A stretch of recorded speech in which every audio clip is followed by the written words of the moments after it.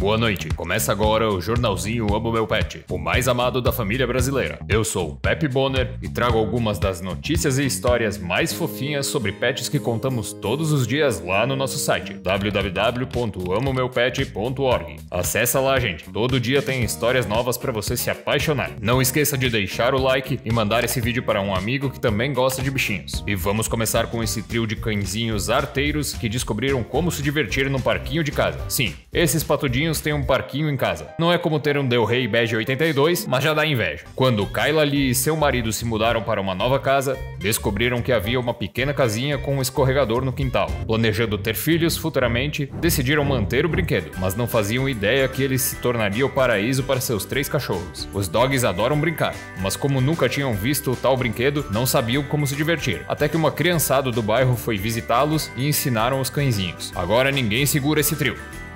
Enquanto uns se divertem com cães, outros se divertem com gatos. Esse camarada aqui, chamado Winston, foi adotado pela família de uma mulher chamada Beth Clark. Desde filhote, o doguinho brinca com felinos. E essa convivência afetou o cachorro de uma maneira peculiar. Quando Winston tinha 4 meses, a mulher percebeu algo incomum enquanto o acariciava. O cachorro começou a ronronar como fazem os gatos. O tempo passou e, mesmo depois de adulto, o grandalhão permaneceu com o hábito.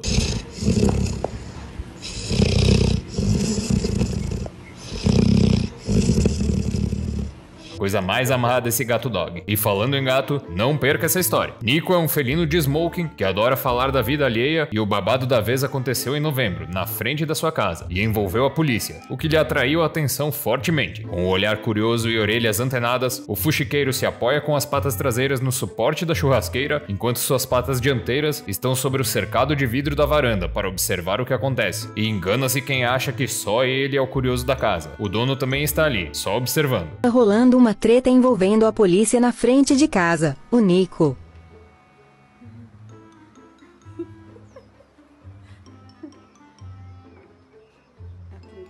Que foi mamãe, eu tô tentando entender. Véi, na boa, na boa, véi. Esse frajolinha tem sete vidas, mas ainda tem tempo para cuidar da vida dos outros. Agora vamos para os comerciais. Está cansada das suas roupas velhas e carcomidas? Daquelas estampas sem graça? Você vive dando desculpas sobre as canecas feias que você serve seus convidados? Seus problemas acabaram. Na loja Amo Meu Pet você encontra camisetas femininas, masculinas e infantis, além de canecas e outros acessórios com estampas exclusivas para quem não resiste a nós. Acesse loja.amomeupet.org e renove o seu guarda-roupa com uma dose extra de fofura.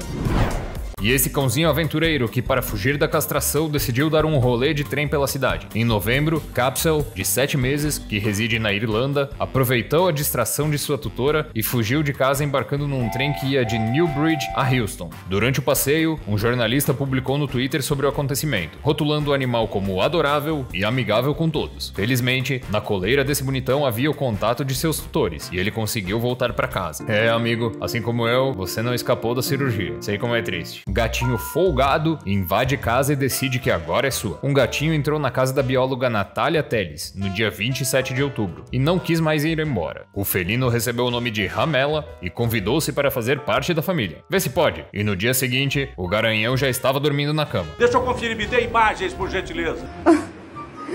Olha isso. Ele chegou em casa ontem e já tá assim. Olha. Sério.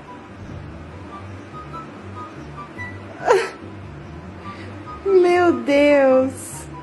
Ai, ai, gente, que inocente essa humana. Ela com medo dele não se adaptar e ele já dormindo na cama. Esse foi mais um jornalzinho Amo Meu Pet. Comigo, Pepe Bonner. Se você gostou das historinhas, compartilhe esse vídeo com seu amigo que também ama pets. E não se esqueçam de me seguir lá no Instagram, arroba Pepe Bonner. Boa noite.